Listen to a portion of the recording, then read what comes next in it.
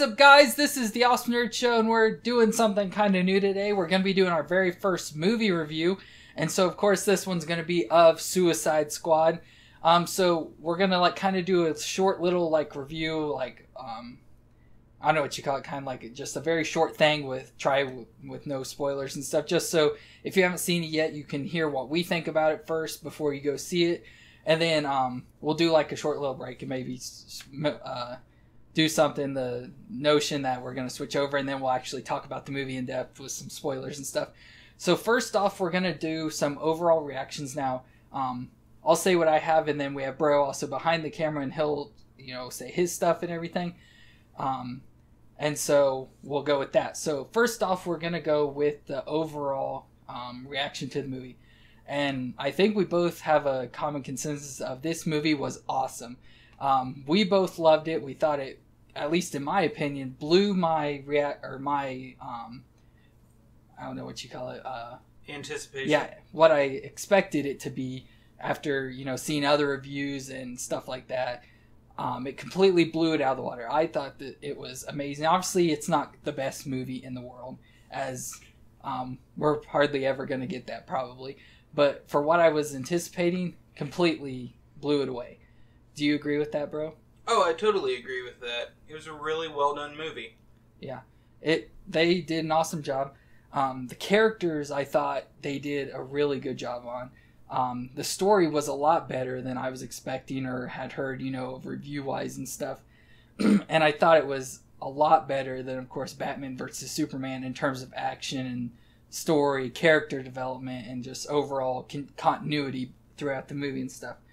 Um, and I've say both of us, I know both of us at least are read or have read or can still reading um, the current Suicide Squad, you know, storyline, the new 52 and stuff. So we have, you know, experience with the Suicide Squad, you know, story of um, why these characters are taken in to do certain jobs and stuff and how they're forced to do it and all that sort of stuff. And so I think, you know, that part, they, you know, nailed it exactly, this whole thing. So there was no doubt or twisting of the story to make it, you know, fit their universe or anything like that. Um, so I think they did a really good job in all that. And so I think that's probably going to be it for our uh, non spoiler view. So, like I said, thought it was really good. If you're familiar with the Suicide Squad story, any of them, because there's been, you know, tens of them. So, you know, however many you don't want to say, not hundreds or anything. But there's been a lot of different versions and everything, but they all, you know, have the same basic format just with different characters. Um, so I, that's probably going to be it for our non spoiler. Definitely go see it obviously you'll have your own opinion.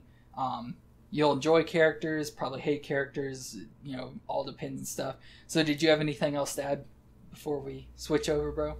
Actually, I wanted to say that a bunch of critics out there are complaining about the movie jumping around and not being consistent and just kind of having a choppiness feel to it. I didn't think that that was the case. I just did a quick count of the character breakdown we're going to do, and there's 15 characters we're going to talk about. That's 15 people you're trying to give time on screen and give a little bit of a story to. Yeah. So I I feel that everybody's trying to say it's a bad film when it wasn't when you look at the list of the cast. Yeah. There.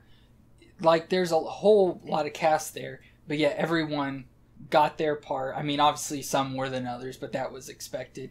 And then um, everyone got their story, you know, told. It may have been simple, easy, short, few minutes or something like that, but it was still their background was there. Um, and com- that compared, you know, with these like 15 different characters that played a part in the movie. Um, obviously, you had a lot more than that, but those were the main ones. Um, in Batman vs Superman, you had Batman, Superman, then you threw in Wonder Woman, and then you had the Flash, Aquaman, Cyborg, just small little parts. But that you still felt like there was a lot missing. Where this one felt it was there and it was whole. So that's going to be it for our um, non-spoiler, uh, or our yeah non-spoiler part. So we'll be like, so if you don't want to hear any spoilers, you can um, shut the movie or shut the video off now and um, go enjoy the movie. Please do. Um, it needs a lot better recognition than it's what I've seen it's deserving so or getting so far. So go see it and enjoy, and then you obviously have your own opinions. So now we'll start with the spoiler. Um, so first we're gonna start with um, all, the character breakdown. So, um, I guess we'll start with Let's start with Harley Quinn. so Harley. Um, obviously, or I would say the main star of this whole movie, which if you've seen the trailers and everything, not unexpected. And same thing with the um, most recent comic series stuff. She was like the main character, even though she's not technically the lead or anything, but she's the standout star.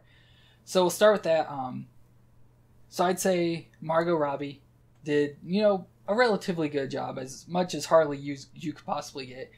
Um, had all her craziness and antics and you know doing joking and all that every all that stuff my only problem with her is um, i feel she wasn't crazy enough for harley i don't know how you felt about that bro Um, I felt she she was pretty good with Yeah. the crazy annex and stuff. the one issue I really had with her was her accent. yeah Like it'd be there in and out throughout the movie. Which I know for the character itself coming from the cartoon in the early 90s like that was the first time she was voiced that's where she appeared. That's kind of an iconic sound for her but i feel it should have been brought to life in its own kind of like jared leto did with the joker. Yeah. Um yeah her voice i mean or like her accent whatever you want to call it to do her voice she was trying to do the um you know 90s batman stylist um, harley quinn which i mean you could kind of tell was there but it to me at least it more sounded like she was like saying stuff with like pauses in between instead of like doing the accent type thing. Like it sounded like she you know wasn't i don't know how to describe or say to say it in a nice way but she didn't seem like she was trying to like properly do the voice. Um but still wasn't all bad. That was the only real problem. Like i said i wish i would have liked to personally have seen more between her and the joker like in their relationship. I mean, I know this movie's not about that, but it did touch on that backstory more than anybody else's. And I would have liked to see more because just kind of did, you know, a few like minute or so pieces and that were real quick and stuff. But that wasn't um, overall bad. And I think she did a relatively good job. I definitely want to see more of her and everything. And so then I guess that leads us next. Um, I guess we can do the Joker next since it leads right into it. Um, Jared Leto, I thought he did an awesome job. I mean, it. I would definitely say it's close to the Heath Ledger, as in as good a quality Joker. I mean, obviously we don't want the same. A lot of people do. I think we need something different, and I thought Jared Leto provided that. It was close enough to the Heath Ledger to give us that awesome feel of a better Joker than you know the old '66 Batman Joker or whatever. We were just all fun and jokes and not that harmful and everything but he had it more gangster mob style to it and stuff, which was really cool that I enjoyed. well a lot of the characters did and that was Yeah. due to the director Yeah. and how he likes to do stuff Yeah, um, yeah, I think he was awesome. I mean, he was very crazy and out there with some stuff he did, but the whole point of him in the movie was trying to get Harley back or like getting Harley, which a lot of people said his like in stuff we watched and read and everything with reviews said that he was just his parts were there and nonsense. I think they made sense. I mean, as I said, he was trying to get Harley throughout the movie. Like that was his point, is to get her, free her from um, the prison and um, the Suicide Squad and all that stuff, free her from that and get her back with him. And he showed up, I think, at the proper times and moments and stuff to like spread that storyline through and everything. So I think overall he was, I mean, pretty good. Is probably as best as we could get. I think. Anything else on him? Um, I don't know. Like the entire time, every time he'd get on screen, like the only thing I could think about was the backstory you'd always heard on Jared Leto, like the crazy annex he'd Yeah. do to send people stuff, and then just how crazy he was, and then people actually had to do scenes with Yeah. him. Like I know uh, Margot had issues with him and almost went to HR but then to see them act together and do those scenes, I was just thinking that the entire Yeah. time. I'm like, how do you do those scenes when you have such disdain for somebody? Um, yeah, that's one of the things. Like I said, I'd like to see the be- bigger relationship of them. Like when it shows like um, her as Doctor Harleen Harleen Quinzel, and then him as Joker, obviously. Um, they're doing their like therapy sessions. It only shows like maybe once or twice, but I'd like to see you know multiple short things where throughout she's getting you know more drawn to him over you know time of spending with him and everything. But um, yeah, I just would like to see more of that. Um, but I guess we'll move on because got one thing. One thing I do want to say about Joker is I like his portrayal of the Joker grin. Yeah, like Heath Ledger had the uh, cut cheeks, Chelsea smiles, and then the old ones always had the big embellished like mouth Yeah. in general. Jared Leto's was just a tattoo he had on his between his Yeah. thumb And and pointer finger. up on his face. Yeah, that was new. Then he had that one scene where it was drawn like he had marker drawn on his face. I don't know, it was really weird, but it was still a different take. Um, so I guess we'll move on now to Deadshot, which of course was the next main character. He's usually considered the leader out of the actual like villains of the group, and of course Will Smith. I thought to me was, I my opinion at least would be the overall probably best character throughout the movie. Just like the way it was acted, the backstory, um, the portrayal or portrayal, I should make that more clear of him and stuff with the being a um, badass marksman and all that sort of stuff. You know, never missing a shot and everything, and I'm just having Will Smith's coolness added onto it and everything. Um, I just thought he played the part really well. And of course, he has like from his past movies and stuff had the um, loving relationship for his daughter. So like having a kid and everything. I think he. I feel he was meant for this part, kind of, but that's just my opinion on it. Um, overall, I I thought it was really well done. Uh, there were there were complaints that they did too much backstory on him and kept jumping back during flashbacks. Yeah. I don't necessarily think that was true. There were only like three of them, Yeah. and so I don't think that was too much. and they were pretty short, except for the one with Batman, which was really cool. But and considering like he's the actual like like you said, he's the kind of leader yeah, of the actual group. I don't feel that it was overdone because he's supposed to be the main focus. Like a lot of people know Harley, so they're like, "Oh, Harley," but Deadshot's more your main focus of the Suicide Squad. yeah. So not much more to add to him. I just being awesome and everything. So um, next, I guess we have. Um, we'll just go with Captain Boomerang. Captain Boomerang.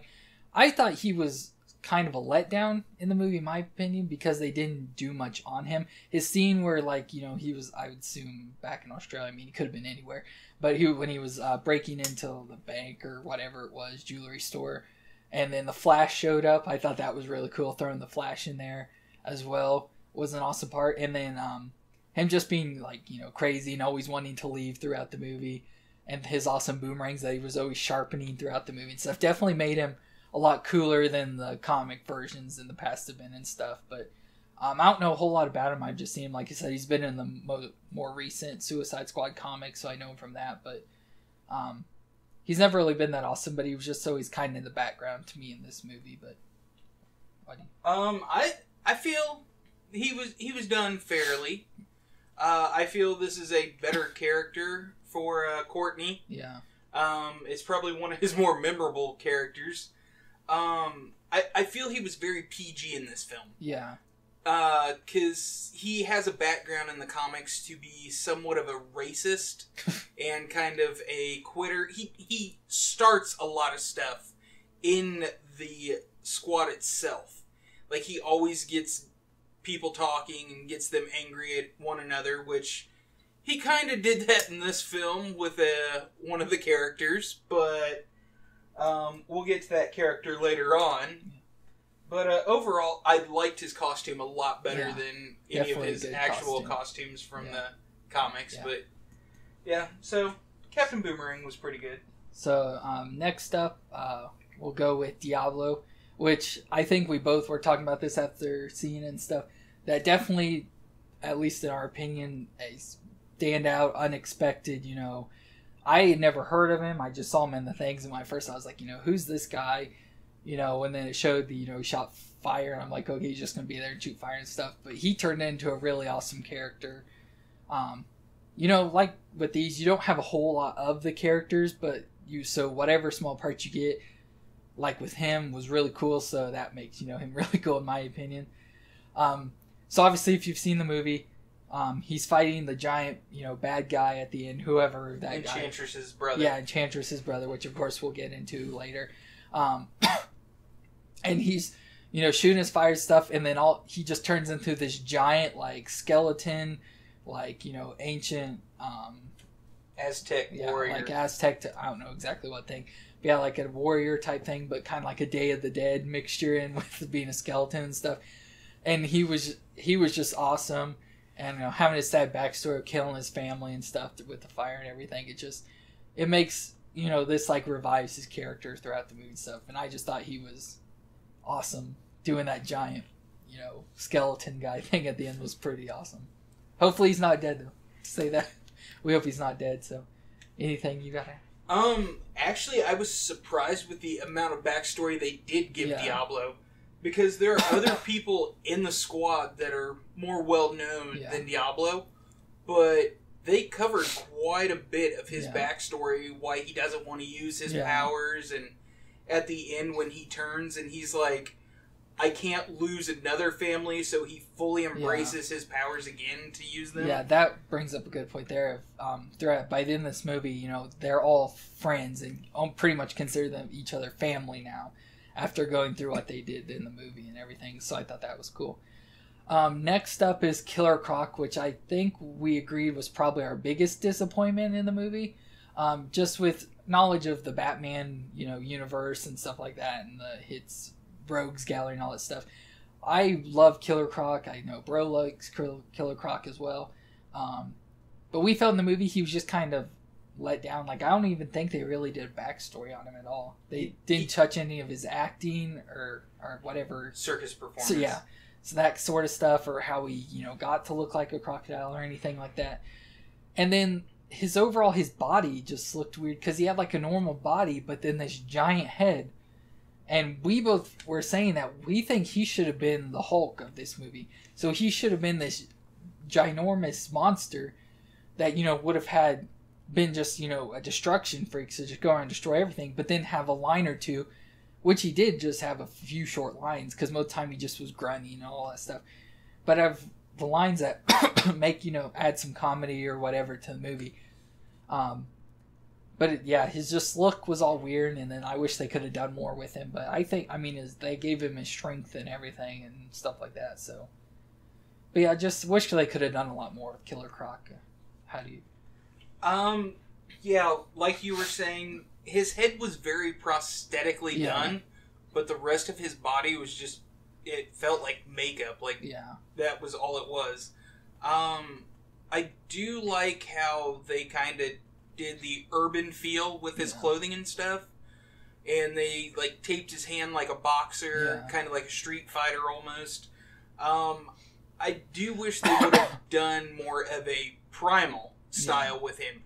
Yeah, he claw at people and stuff, but he's Killer Croc. He's in comics. He's always biting Yeah. Batman and stuff like that. They did show dropping a quarter section of a cow in to feed him, but it never Uh, showed him eating yeah, e- everything was him like ripping. Yeah. There was no like biting and stuff, and he had a nice set of teeth on him. yeah.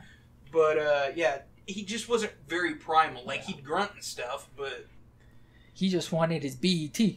yeah, Uh, so next we have uh, Katana, which I thought, you know, for her story, it was, you know, as Katana as you could get. You know, her husband was killed, and she's just trying to get revenge. Um, and he's, you know, her husband's like trapped inside the sword, which I believe wasn't it his sword or something it like. was his sword. Isn't that, it like Soul Taker or something along those uh, lines? Soul Taker, Soul Eater? something like that yeah but i think he was like killed with it so he's inside so she talks to it and all that stuff and just trying to get revenge for him and everything and i mean like i said that's his katana i mean she looked exactly like her characters always portrayed i mean except for like super tight clothes but i mean she's like i said as katana as you could get so that was you know was pretty good and everything i don't know if you had um Say next up we have Rick Flag, which I personally don't know much of anything about Rick Flag. I mean, I know he's the official like leader of the Suicide Squad, and then in this movie he's in love with the um, person that Enchantress is. Um, I forget what you call it, like uh, Her alter ego. yeah, alter ego or I don't know what's like possessed by. That's what I'm trying to say.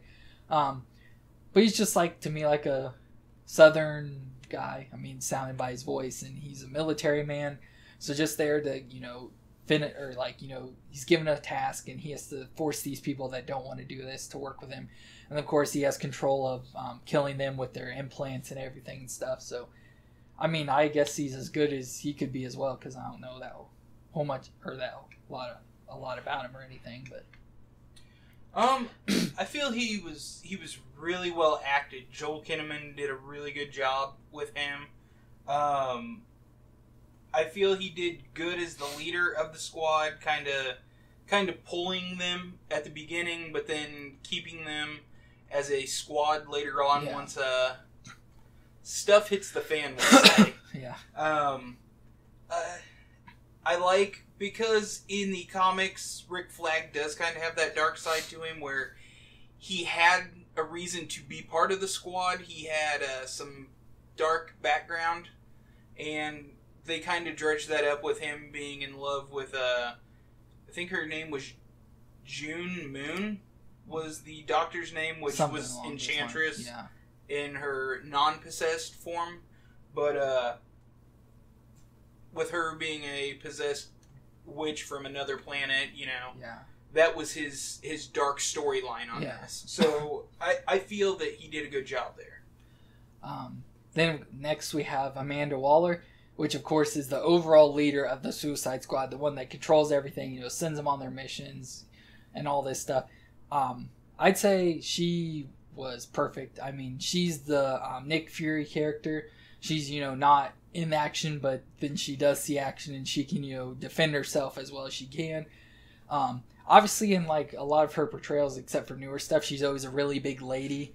And this um i mean it's viola davis she's not that big and stuff.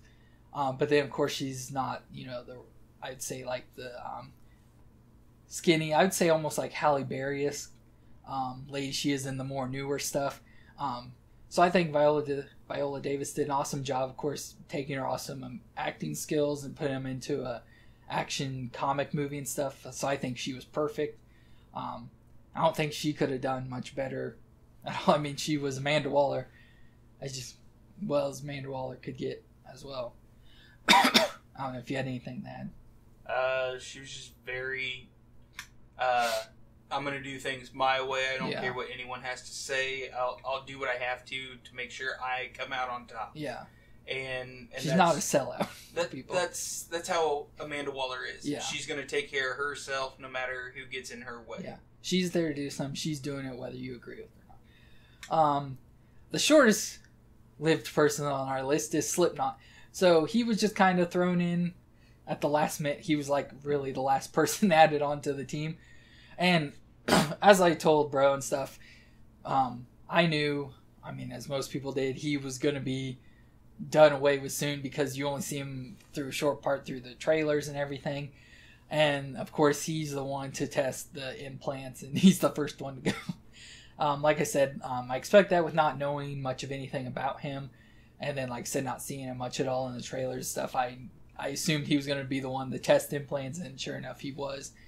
And so he was gone really quick. So there's not much to add to him that he died. You never got to see any of his powers or anything, but I, I was a little surprised with how fast he went. yeah, I figured he'd go midway through the movie, not near the beginning Yeah. of the movie. Um, now he was the one that uh, Captain Boomerang did kind of entice and mess with. That's where I said Captain Boomerang kind of came Yeah. out at his best and wasn't so PG. But yeah, as soon as you see Boomerang talking to him, you know that he's going to be the first one gone. Yeah. So Um, so next up out of our like main characters, we have, um, I'd say the main person through this would be Enchantress, which of course turned out to be the main villain. I guess the main villain throughout the movie. So um, you get her backstory that she, um, the Doctor Juno Moon or whatever her name is, um, or June Moon, whatever. June Moon. she's uh possessed com- becomes possessed by the switch from like somewhere you know south america temple type thing that she comes across. Um and so she has this enchantress inside of her that you know she can uh, by saying the name brings around. She can you know do whatever powers um, she got has and everything. Well um, she ends up uh, getting her brother released which is a really awesome which i would say was the i guess overall main bad guy because he's the first one that causes everything but he's just this giant guy of course another like uh, mayan or incan or aztec or whatever you want to call it like a god or something. He's huge. He's like it's all he's all fire inside. Looks like with like armor type stuff, and of course a huge like head dress type thing and stuff. And I thought he looked really cool, and so that's the one you see, and he has like shoots the stuff out of his like arms and stuff. Um, and that's what you see in the movie, like ripping through the train and everything. So um, he was really awesome. Then Enchantress, she's like doing this thing to like do something. It's dragging stuff. That's one thing I don't understand. I don't know if I just missed it or what I don't understand what she was trying to accomplish besides like a thing to take over the world or something and turn everyone into her little minions and stuff but um yeah she just was the big baddie and i thought you know she was a lot bigger than i was or like the fights there was a lot bigger than i expected i thought it'd be you know just a simple easy bad guy that they were just going to do away with real fast and stuff but it was actually a lot bigger than i expected and the fight scene at the end um, to kill them and everything was really awesome. I thought they did a really good job with the fighting and stuff. um, I felt Enchantress overall, it it was well done. Uh, the actress did well with it. Um, the character was well played. The only issue I had was the costume for the character. Uh, it, it was just I, I don't know where they were going with it. Every other character had some semblance of their costume there. Yeah. Uh, as Enchantress, there there was no semblance. There was no like green, side green. She mean she just had green. There was no like green robe or anything. I mean, I feel the new Rita from yeah. the new Power Rangers movie yes. would have looked closer to Enchantress um, than Enchantress looked. But I think though with the her brother's look and you know the South American you know society or civilization outlook design and stuff, I think she fit along with that, but yeah, compared to her like comic version, she didn't look much of anything like it. But um, yeah, she was like turned out to be overall a pretty cool, you know, bad guy or whatever, bad girl or woman, whatever in this movie. Um, so that's it for the main characters. Now we're gonna touch on some like people that were um, in it for a short time. Um, so of course you guys see Batman in two parts. So the capturing of Deadshot and the um, chasing after Joker and Harley and taking, you know, capturing Harley and stuff. So his parts were short, but you know, good and everything. Um, they get went after his, you know, two of his villains that are commonly with him and stuff. Um, I thought cool Killer Croc scene would have been awesome, but um, I mean, not much more than that. I mean, it's just very few parts. Hardly said anything, if anything at all, that I can remember, but not bad overall, uh, it's the same Batman you see from uh, Batman Superman. Yeah. The only thing I did like was they did show uh, the breather mask yeah, that he has, which they did an action figure for the Suicide Squad with that, yeah, and I think it looks really cool. So yeah. that's that's pretty much it for Batman. And then of course we had Flash, which was only in there for a few seconds capturing Captain Boomerang. But I thought it was really cool that they threw him in there. Um, as I said, I would have liked to seen you know Aquaman thrown in there too, like to capture maybe Diablo since he has fire. You know, Aquaman being water and stuff. Um, to capturing him, but they didn't. But yeah, throwing that extra flash in there and stuff that no, I didn't know anything about was really cool. Um, I, just I, to see more Flash, but I liked it because uh, Flash and Captain Boomerang do have a history. Yeah. Boomerang is in Flash's rogues gallery yeah. of uh, villains, but yeah, it was it was an unexpected surprise that I really did enjoy. Yeah. Um, then we have, um, it was what the like rapper musician Common. He made an appearance as uh, I think he's in labeled as T Monster, but people have called him Tattoo Man. We don't know. I mean, he could be Tattoo Man. He had tattoos all over his body or like face and stuff that you could see. But T Monster, whatever, of course, he was um, just in a small like Joker and Harley part. Um, it's cool to see Common, you know, thrown in there as a character and stuff. Um, but of course, he gets done in by Joker, so you get to see part of his Joker's diabolicalness or whatever evilness of, you know, he sees Harley and you know says you know something about her, so he's like, oh, you want her and all this stuff. There's and he's and then he you know wises up quick that this is a joke by Joker and stuff, and so he's like, no, I don't want any. Joker's like, oh, you don't like my woman stuff, and then he ends up killing him and everything. So I thought that was really cool. Um, of course, everyone thought by seeing stuff that he was going to be the main bad guy, which turned out not to be at all. Um, I mean, it looked like he could have been, but uh, just didn't turn out to be. So that's the way the trailer actually threw people off, unlike Batman vs Superman, where you pretty much knew everything that was going on beforehand. But I don't know if you had any. So there's not much added with, these things. I mean, other than the fact that they kind of hyped Common was going Yeah. to be in it, and then it was so short lived. Yeah. That's pretty much it. And then our last one is uh, Scott Eastwood. yeah, Scott Eastwood's character. I don't know what his name was, but he was just one of the um, like military guys of the Suicide Squad and stuff. So rumors have been going around that he's playing what agent Agent 37, 37. aka Dick Yeah, Grayson. so Dick Grayson or Nightwing or the very first Robin, as you would know him. Of course, we got besides him being a part of the Suicide Squad, you know, as a military guy, you don't have any um, acknowledgments of anything else like that. Which, of course, if this was supposed to be an undercover agent, you wouldn't get that. But we're almost sure because we, I think he's the one that um, sets off the bomb at the end to kill Enchantress's brother. And so, if that's the case, it's pretty assumed that he's dead. So, you never know. He could be, since we never got anything. But by that, we're thinking he's dead. So, I assume he's not um, Dick Grayson. But you never know. I, I was thinking about it after we saw that explosion scene. I'm like, oh, that could be Dick Grayson, and that could be that Robin costume we saw with the Joker riding on it. But I'm like, this takes place after the fact Yeah. of Batman Superman, so that wouldn't make any sense. Um, they really didn't focus on his character too much, which. I mean, with the way the DC universe is going, who knows? Because they did kill Jimmy Olsen Yeah. off in Batman Superman, Yeah. so. But everyone was talking that Scott Eastwood had this big part Yeah. and was Agent 37 and stuff. I, I just don't feel that was true. Yeah. I, I feel it was just Scott Eastwood being a second command Yeah. to Rick Flag. Yeah. So, being a popular name. yeah. Whatever stuff.